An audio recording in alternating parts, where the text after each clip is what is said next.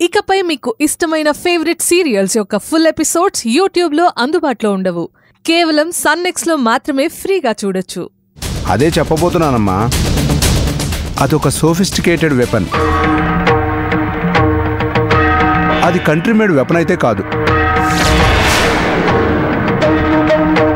అలాంటి వెపన్స్ అమ్ముతున్నారని తెలియడమే నాకు చాలా బాధగా ఉంది.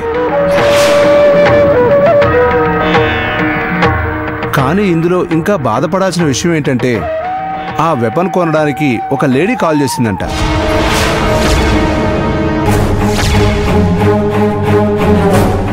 ఓ మై గాడ్ ఆ వెపన్ కొన్న లేడీ ఎవరు సార్ నాకు అదే అర్థం కావట్లేదమ్మా. ఫోన్ కాల్ని బట్టి ఎవరో ఏంటో అని ట్రేస్ చేద్దామని ట్రై చేస్తున్నాను. కానీ వాళ్ళు దొరకకుండా యాప్ నుండి కాల్ చేశారు. అందుకని వాళ్ళు ఎవరో తెలియట్లేదు. వేరే కంట్రీ నుండి కాల్ చేస్తున్నట్టు నమ్మించే ప్రయత్నం చేశారు. కానీ అది మన ఇండియా నుంచే కాల్ వచ్చింది. వెపన్ అమ్మిన పర్సన్ ఇంతకన్నా ఎక్కువ ఇన్ఫర్మేషన్ ఇవ్వలేదు.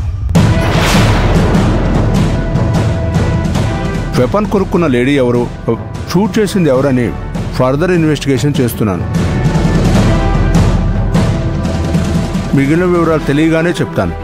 అంతవరకు నువ్వు ధైర్యంగా ఉండమ్మా. సరే sir. Thank you sir thank you so much okay. Chandra విన్నావు కదా? విన్నాను సార్. ఆ లేడీ ఎవరో కనుక్కోవయ్యా? కనుక్కుంటాను సార్. ఏంటి బాలుగారు ఇది? ఒక లేడీ నాన్నని చంపడానికి వెపన్ కొనుక్కుందా? పైగా టెక్నాలజీ ఉపయోగించి దొరకకుండా ప్లాన్ చేసిందా? అసలు ఇంత ప్లాండ్గా నాన్నని చంపే అవసరం ఎవరికి ఉంది అసలు ఎవరు తను? ఇప్పటిదాకా మనం మాలతి గారు కాదనుకున్నాం. కానీ మాలతి గారు కాకుండా ఇంకెవరై ఉంటారు? నాన్నని చంపటానికి ముందుగానే ప్లాన్ చేసుకుని పెపన్ కొనుక్కొని మరీ పెట్టుకున్నారంటే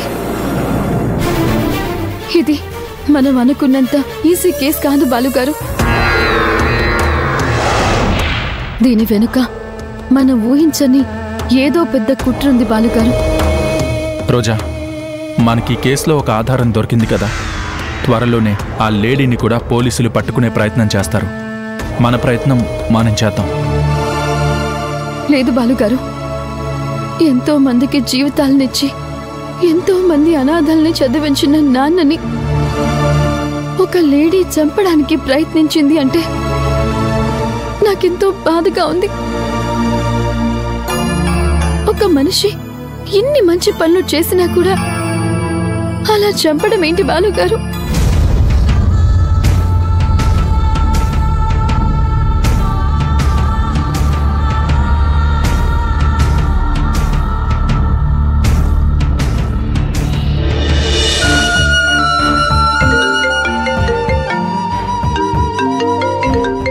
ఇది స్పెషల్ ఆఫీసర్ ఫోన్ నంబర్లా ఉంది? మేడం నేను యుగంధర్ని మాట్లాడుతున్నాను. చెప్పండి.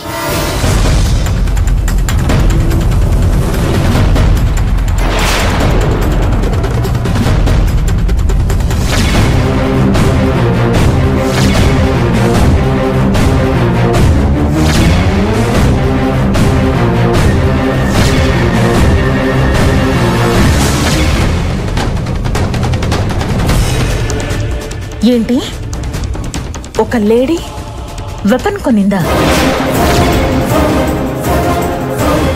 అవును మేడం. మా ఇన్వెస్టిగేషన్ చాలా కూల్గా చేసుకుంటూ వెళ్తున్నాం. బిర్యానీ తింటూ బిందాస్గా డ్యూటీ చేస్తుంటే కూరగాయలు అమ్మినట్టు కూల్గా వెపన్స్ అమ్ముకునే ఒక సేల్స్ ఎంప్లాయ్మెంట్ వీరుడు దొరికాడు.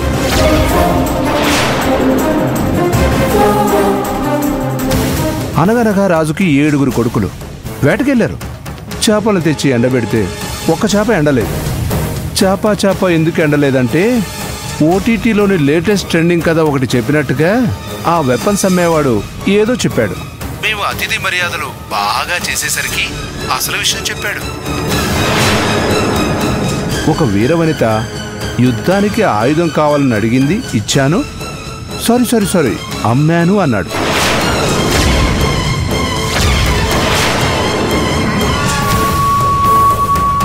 తనెవరో తెలిసిందా? ఆ, అది కూడా త్వరలోనే తెలుసుకుంటారు మేడం. మొత్తానికి వెపన్ కొన్నట్టు మాత్రం తెలిసింది. కొన్న వెపన్ తను ఇంకెవరికైనా అమ్మొచ్చు ఆ వెపన్ ఇంకెవరైనా వాడొచ్చు. ఏదైనా జరగచ్చు. ఆఫీసర్ గారు ఆ రాక్షసుని పట్టుకోండి త్వరగా. నాకప్పగించండి దాన్ని నా చేతులతో నేనే చంపేస్తాను.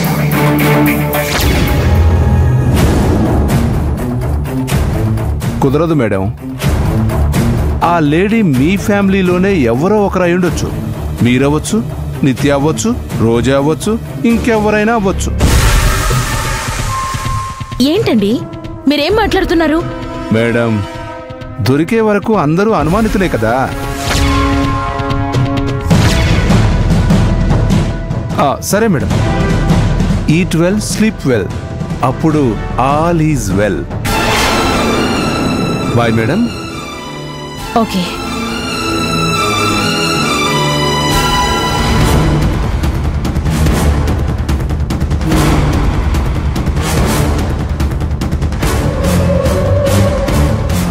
Special ఆఫీసర్ని పెట్టి మరి హంతకురాల్ని వెతుకుతున్నారా?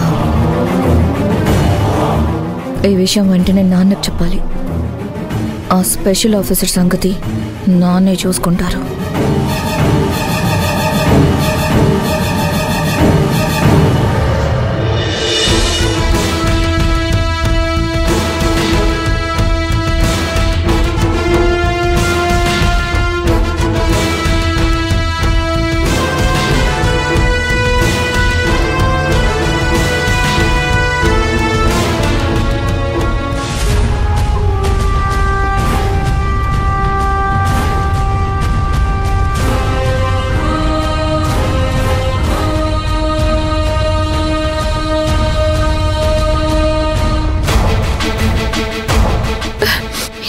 ఎవరు చేసుంటారు?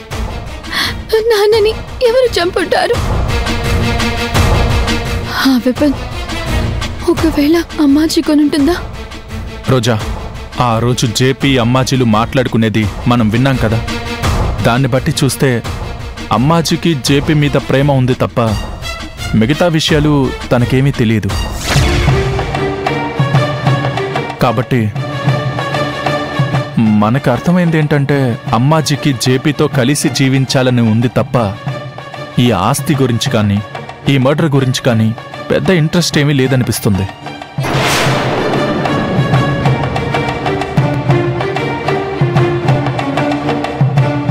అయితే ఇప్పుడు లిస్ట్లో నుంచి అమ్మాజీ పేరు కొట్టేద్దాం. మిగిలింది ఇంకెవరు? ఇంకెవరు మిగులుతారు? మాలతి గారు నిత్య మిగులుతారు. గారు? నిజంగానే అమ్మాజీ పేరుని లిస్ట్లో నుంచి తీసేయొచ్చా? అమ్మాజీ వేరే విషయాల్లో కుట్ర చేసుండొచ్చు కానీ పానీగారి హత్య విషయంలో అమ్మాజీ ప్రమేయం ఉండదనే అనుకుంటున్నాను రోజా. కనీసం నిత్య జేపీ కూతురని కూడా తనకి తెలీదు. అమ్మాజీ నిత్య ఇద్దరు చెడ్డబళ్ళే కానీ కుట్రలు చేసి వెపన్స్ కొని చంపేంత పగ వాళ్ళకి లేదు. ఎవరైనా కుట్రలు చేస్తే వాళ్ళకి హెల్ప్ చేస్తారు. అంతో ఇంతో కమిషన్ అడుగుతారో తప్ప అంతకు మించి ఏమీ చేయరని నేను అనుకుంటున్నాను మరి మాలతి గారి సంగతి ఏంటి? మాలతి గారు ఇన్నోసెంట్ అని ఇప్పటి వరకు భావించుకుంటూ వచ్చాం. కానీ మరి ఈ మధ్య కాలంలో మాలతి గారిలో మార్పును చూస్తున్నాను. మాలతి గారు నిజంగానే నాన్నని ప్రేమించారు కాబట్టి తను చంపుతుందని నేనైతే అనుకోను. కాదు రోజా వంద ఎలుకలు తిన్న పిల్లి వ్రతం చేసినట్టు. ఎన్నాళ్ళు తన విశ్వరూపం చూపించిన మాలతి గారు పాణి గారు చనిపోయాక నీకే ఎందుకలా మంచి వాళ్ళలా అర్థమవుతున్నారో నాకు అర్థం కావట్లేదు. మంచితనం ఎవరి దగ్గరున్నా ఒప్పుకోవాలి. మార్పు స్పష్టంగా కనిపిస్తోంది. చేపితో మాట్లాడేటప్పుడు నాన్న టాపిక్ వస్తే తను సీరియస్ అవుతోంది. ప్రతిసారి నాన్న తలుచుకొని ఏడుస్తూ ఉంది.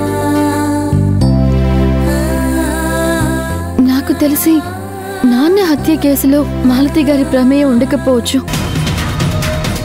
ఇటు మాలతి గారు కాక అటు అమ్మాజీ కాక మరి ఎవరు? నిత్య